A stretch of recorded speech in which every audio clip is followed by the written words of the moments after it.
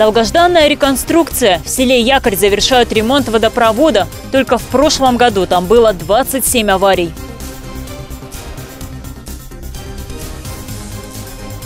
Пик коронавируса прогнозируют на осень текущего года. Что о подъеме заболеваемости думают медики и североказахстанцы? 26 тысяч туристов посетили Северный Казахстан за три месяца. В регионе разработано 28 турмаршрутов. Куда можно отправиться? Молодежное крыло партии «Аманат» получило новое название «Жастар Рухы». Идею о переименовании поддержали все делегаты во время внеочередного шестого съезда крыла партии. Также во время встречи к молодежи обратился президент страны Касым Жумарт Тукаев. Он назвал три важных приоритета для молодежи нового Казахстана – стремление к знаниям, трудолюбие и патриотизм. Говоря о стремлении к знаниям, президент заявил, что будущее за цифровыми технологиями и инновациями. При участии молодежи страна должна стать конкурентоспособной, обеспечив повышение благосостояния и качества жизни граждан. Молодежь должна ценить честный труд и быть сильной духом, уметь ставить интересы государства выше всего. Для этого нужно знать родной язык, чтить традиции и историю своего народа. Это святой долг каждого молодого человека, добавил Токаев. Долгожданная реконструкция сети водоснабжения в селе Якорь Козлжарского района подходит к концу. Работы здесь выполнили уже на 75%. Построили 10 километров сетей, установили 130 колодцев. Трубы, кстати, тянут методом прокола. Этот способ проще и дешевле в реализации. Завершить работы планируют уже в сентябре этого года. Об этом сельчан Якима области заверил представитель подрядной фирмы. По договору срок завершения строительства до июля 2023 года. Темпы хорошие, они только на руку жителям Якоря, которые были вынуждены в последние несколько лет экономить воду. Ведь давали ее здесь строго по часам и со слабым напором, а все из-за изношенных труб. Этот водопровод был старый, вот в прошлом году было 27 аварий, получается, до этого 14 аварий было. Понятно, что чуть-чуть там начнешь давить, а труба не выдерживает, старая, э, поэтому было принято решение о том, что здесь нужен новый водопровод. Э, и вот 13,5 километров только новой трубы протягиваем. Теперь вопросы будут все сняты.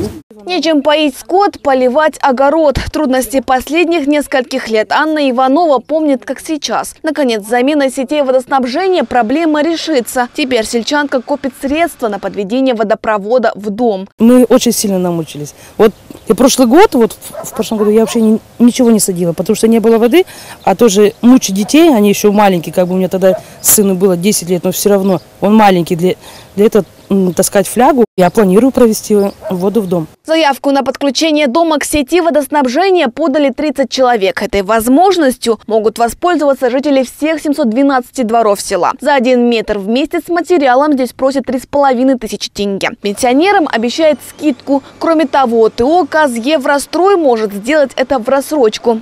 Скидка будет, но это будет индивидуально. Почему? Какое расстояние будет там? Да, ну, по проекту у нас 13,8 километров, 110 а 1400 метров у нас 160 труба лежит на входе, это для давления. Основная труба у нас лежит 110 -я. На сегодняшний день проложено уже 1400 метров 160 и 10 километров уже лежит у нас 110 -я. Поставлено уже 130 колодцев.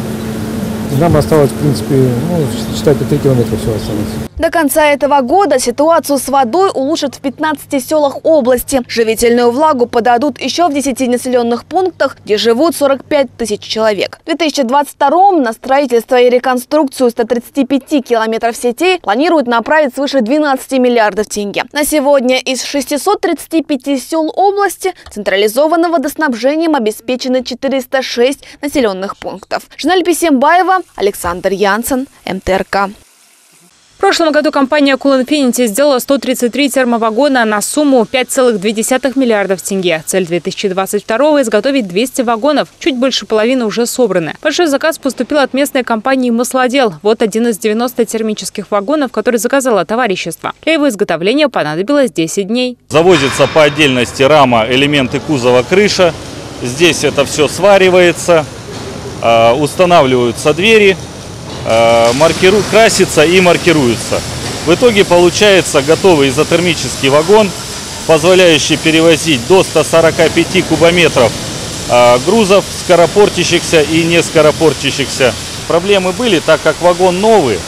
Вот. Но мы их сразу оперативно устраняем, и они попадают под гарантийные случаи. По изготовлению у него есть гарантийный период. Это а, три года либо 200 тысяч километров пробега. Такой вагон, независимо от погоды, сохраняет температуру продуктов во время перевозки на большие расстояния от 7 до 10 дней. С 2021 года ТОК Infinity расширила линейку продукции. В компании начали изготавливать вагоны, которые способны охлаждать продукты в два раза дольше, чем их предшественники. В прошлом году мы еще освоили новую модель вагона, автономный рефрижераторный вагон. Данный вагон в Казахстане не делался, получается, первый раз мы его сделали. Сертификацию все прошли, сертификат получили. Уже два сделали на Россию, и в этом году мы уже заключили экспортный договор на Азербайджан в количестве 50 штук. Он у нас будет переходящий 2022-2023 год. С ноября по декабрь мы уже будем по 10 вагонов отправлять в Азербайджан напрямую. В большей части мы сами проводим маркетинг, проводим переговоры и находим уже заказчиков. Компания большое внимание уделяет потребностям отечественного и зарубежного рынков. Для представителей транспортных компаний и не только то, в этом году планируют освоить новый вид вагона. Он тоже будет изотермическим, но с большей грузоподъемностью. Что касается экспорта, то в основном умные вагоны, сделанные в Северном Казахстане, отправляются в соседнюю Россию. Там же завод покупает тормозное оборудование, колесные пары и железо в листах. В феврале за напряженной геополитической ситуации в соседней стране приобрести необходимые комплектующие было непросто, но проблему удалось решить. Что касается персонала предприятия, предприятия, то в производстве задействованы 105 человек. В среднем за свой труд они получают 250 тысяч тенге. Дарья Башмынцева, Александр Янсен, МТРК.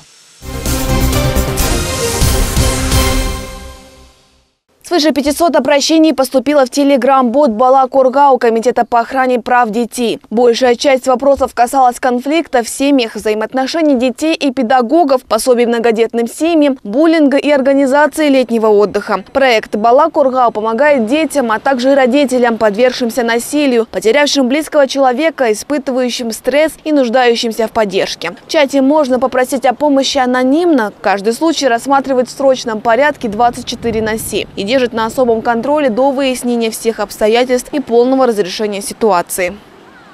Представляются полицейскими и узнают информацию о банковских счетах. 30 североказахстанцев обратились в полицию с заявлением о новом виде телефонного мошенничества. Никто из них от рук аферистов не пострадал. Более того, жители Североказахстанской области сами стали проводить активную информационную работу против онлайн-мошенников. В социальных сетях североказахстанцы распространяют аудиозапись разговора с аферистом. На нем женщина представилась сотрудником полиции, сообщила о возбуждении уголовного дела. Якобы со счета Петропавловца аферист Журналисты пытались снять деньги. Чтобы их остановить, нужны банковские данные пострадавшего. Полицейские просят не доверять таким звонкам и отмечают, что для уточнения имени и фамилии полицейских можно обратиться в территориальные подразделения, откуда якобы был совершен звонок. Номера для связи опубликованы на официальных сайтах.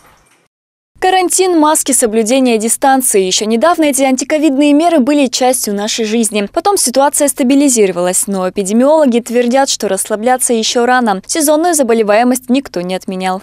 Сегодня недельная заболеваемость коронавируса в мире выросла на 1 миллион случаев. На прошедшей неделе COVID-19 выявили почти у 6 миллионов людей. Количество инфицированных в соседней России растет вторую неделю подряд. Казахстан, к сожалению, тоже далеко не отстает. С середины июня в стране отмечается рост заболевших. Алматы приблизился к красной зоне. Наша область находится в зеленой. Чтобы обезопаситься, казахстанцам с 5 июля рекомендуют вновь носить маски. Как понимать ситуацию северо североказахстанцы и принимают ли профилактические меры, ведь новый пик коронавирусной инфекции эпидемиологи прогнозируют на осень.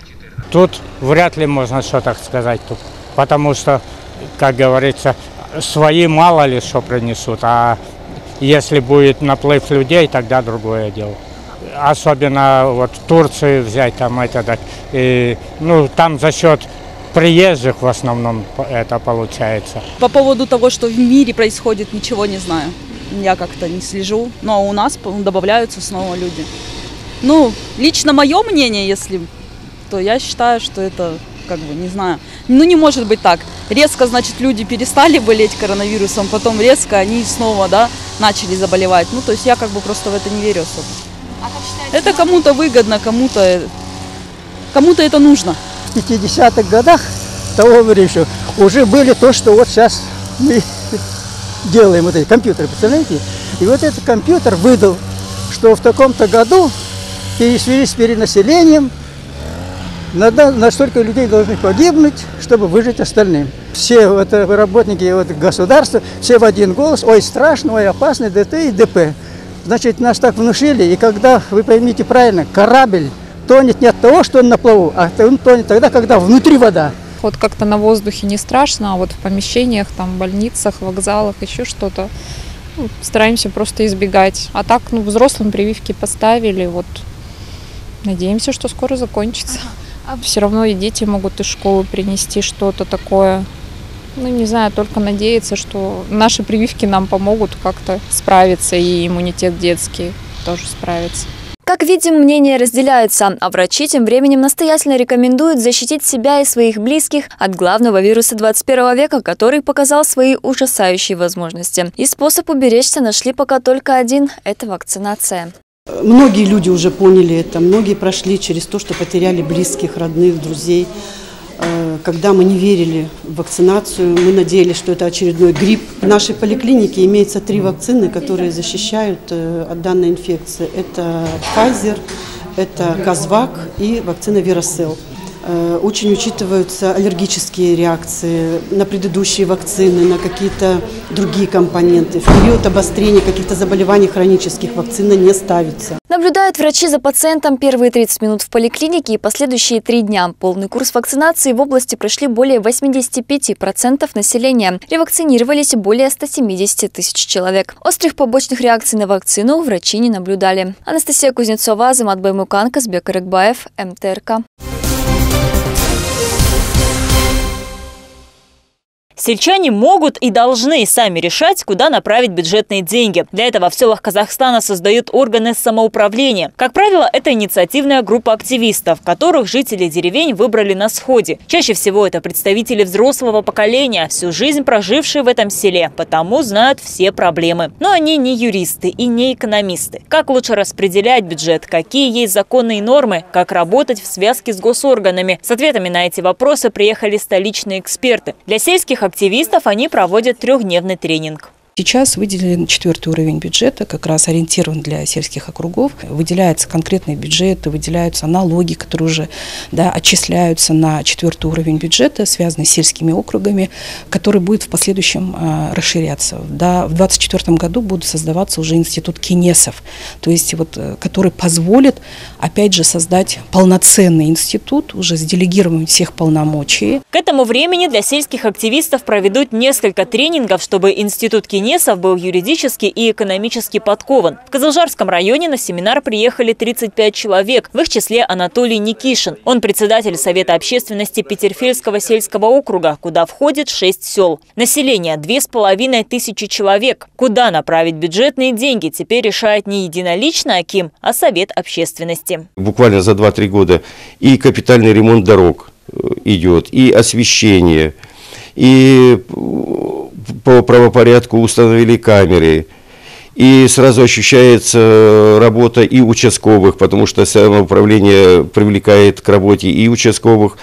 И вплоть до простого примера, что э, начали штрафовать за выброс мусора за нескошенную траву, за неопрятный вид э, дворовой территории. Аким округа в данном случае руководитель, а Совет общественности – исполнительная власть. Так и должно быть, считает активист. Совет общественности Петерфельского сельского округа существует три года. Показывает хорошую работу и во многом помогли такие тренинги. Раньше приходилось опираться только на жизненный опыт. Мы узнали, сколько у нас э, действительно полномочий. Что скрывать, мы не все изучаем законы, законы не успеваем э, читать даже, сколько их выпускается.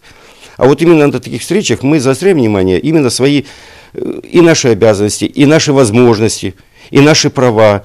Также на тренинге рассказывают, как нужно взаимодействовать с госструктурами и как привлечь в ряды активистов молодежь. Это поможет удержать их на селе. Плюс а, уже будут объявляться конкурсы для жителей а, того или иного сельского округа. Если они будут предлагать какие-то а, конструктивные решения, проекты, а, каких-то а, значит, необходимых для них, вот, для решения вот каких-то вопросов на э, сельских территориях, то они будут участвовать в этом конкурсе, подавать эти заявки, и в конечном итоге это будет приводить к тому, что они будут получать этот грант, Механизм по выделению грантов в ближайшее время начнет работать, а по итогу трехдневного тренинга активисты разработают программу развития своего села. Агирим Хамзина, Азамат Баймукан, МТРК.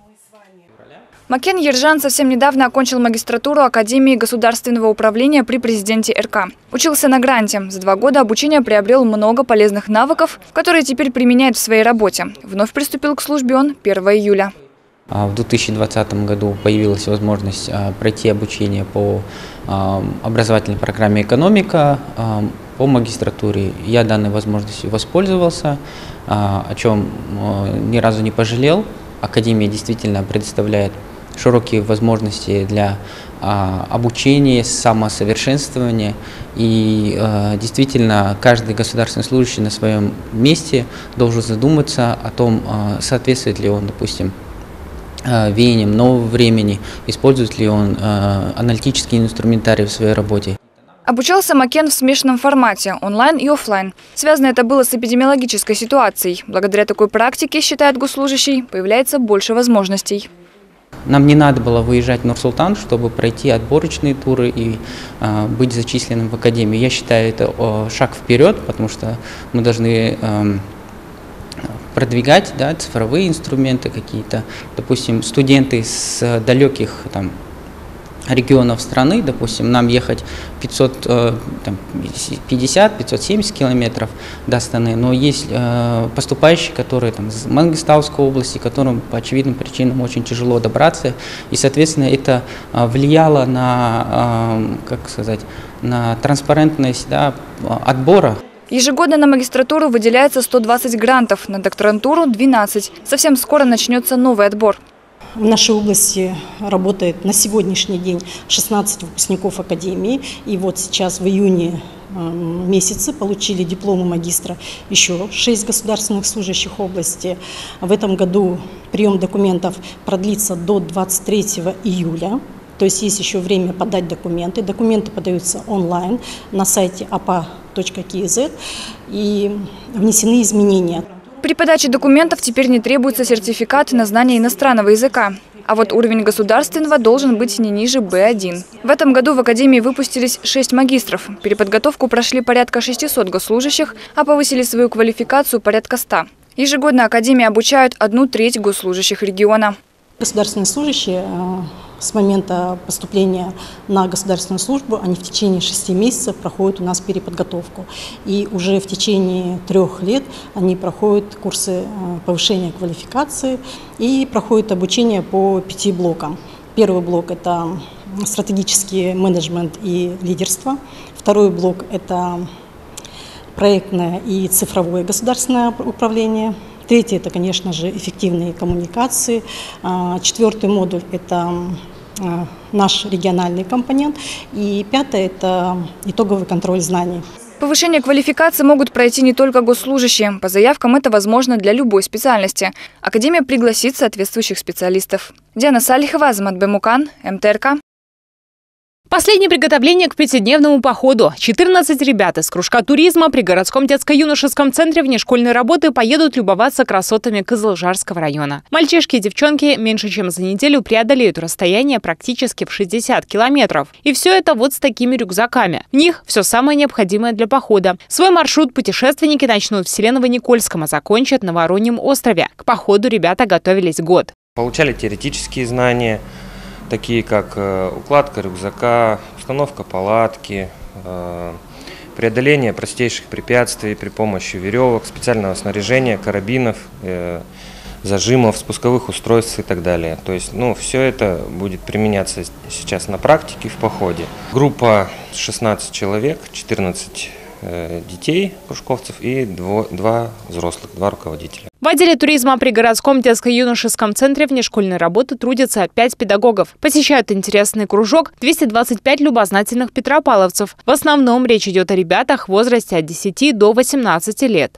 В рамках выделенных средств лучшие дети, кто постоянно занимается, имеют право поехать в поход. В этом году у нас запланировано 7 таких походов, поэтому 70 ребятишек закрепят свои навыки, умения. В прошлом году у нас детки ездили на озеро Имантау, выезжали, несколько походов было, участвовали в республиканских соревнованиях, занимали места. Поездка в Имантау запомнилась 14-летней Валерии Яушевой. В кружке туризма она занимается три года. Мы ходили пять дней, вот, и там было очень красиво, мы купались почти каждый день, возле костра песни пели. Мне нравится смотреть на природу, я люблю животных, и ходить для меня в походы очень весело, потому что у нас хороший коллектив. Старшие ребята нам помогают иногда, иногда мы помогаем младшим. Одевать обвязки, раскладывать палатку, собирать спальники. Мы всегда помогаем друг другу. Кстати, самым младшим участникам этого похода 11 лет. Во время учебного года кружок туризма ребята посещают три раза в неделю. Занимаются они бесплатно. Взрослым за отдых в красивых местах региона приходится платить. Сколько именно зависит от предпочтений. Кому-то, как ребятам из кружка по туризму, нравится отдых в палатке, а некоторые хотят остановиться в комфортном домике. Главное то, что живописных мест, от которых захватывает дух в Североказахстанской области, много. В области у нас разработано 28 туристических маршрутов по достопримечательностям, сакральным объектам и досуговым объектам. А, имеются у нас а, конные, пешие, велосипедные и водные маршруты.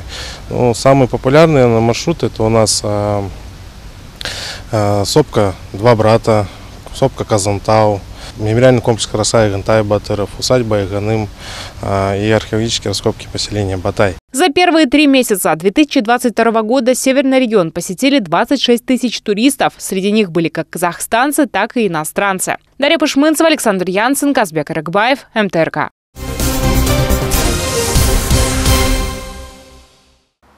Вот уже 17 лет организация «Жасыл Ель» объединяет школьников, студентов и безработную молодежь в летний период. Провести время с пользой для природы и организма, плюс подзаработать. Такой перспективой пользуются ребята от 16 до 29 лет. Среди них Александр Загатырин. В областном штабе «Жасыл Ель» уже не первый год. Четыре года назад вступил в отряд, чтобы оплачивать свою учебу в медицинском колледже. Сейчас он уже выпускник, но вновь решил принять участие в сезонной работе. Мы работаем со своими сверстниками, а легко завести друзей, а с друзьями и работать приятней. Вот. Ну, работа у нас особо не тяжелая. В лесу всегда приятно, свежий воздух. Ну и в конце концов э, лишний раз лес убрать от мусора, потому что очень много выбрасывают мусора. И это очень хороший вклад, так сказать, в общество. С 9 утра до 6 часов вечера кипит работа. Ребята занимаются санитарной уборкой леса, противопожарной уборкой, очисткой от сухостоя, заготовкой кормовых веников, прополкой и поливкой. Оплата за труд составляет около 90 тысяч тенге. В данном лесном хозяйстве трудоустроено 14 человек.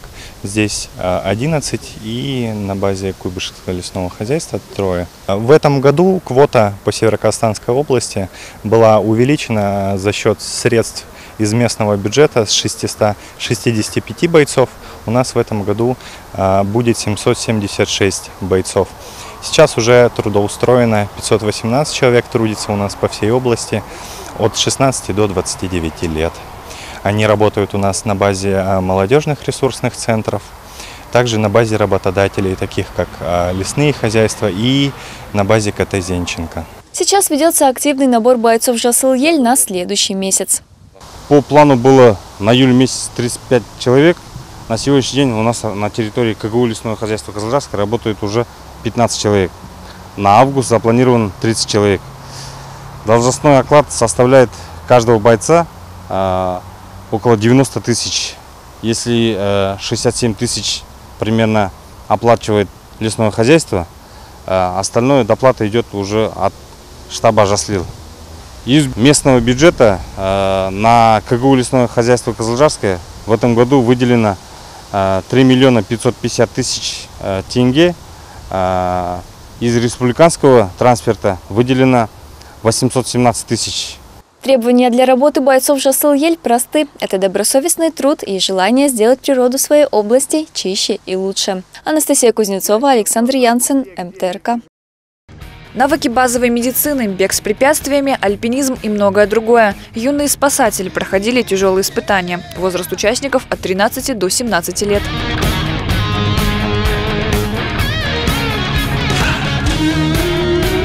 27 мая по 1 июля в Кокшетау проходил республиканский этап соревнований «Юный спасатель». Приняли в нем участие 140 школьников в составе 17 областных команд. Наш регион представила команда «Алау» Валихановского района. Состязания стали настоящим испытанием на выносливость. Восемь ребят испытали сложные физические нагрузки в жаркую погоду и высокую конкуренцию. Мы прошли, получается, областной. После того, как мы заняли первое место, нам сказали то, что мы поедем на республиканский. Это посеяло в нас большую надежду, то есть сможем ли мы достичь еще большего. И так вышло то, что мы заняли четвертое место, и это очень классно. Это очень классные эмоции, новый опыт, и появляется желание работать дальше в этой сфере. Для 16-летнего Жалгаса эти состязания особенные. Свои достижения он посвятил старшему брату, на которого равняется. Мой брат сейчас работает в ОЧС, я беру с него большой пример, я хочу быть как же он. Самое трудное было эстафета. Эстафета была в боевой одежде, это было плюс 30 градусов жары, и бегать это было слишком тяжело. Я получил колоссальное удовольствие в этом соревновании. И не важно, что мы даже не выиграли, главное участие, как говорят. И все равно я доволен своим результатом. Состязания проходили по семи видам. Визитная карточка, стенгазета, оказание медицинской помощи, пожарная эстафета, аварийно-спасательные работы в зоне техногенной аварии, поисково-спасательные работы в условиях природной и водной среды.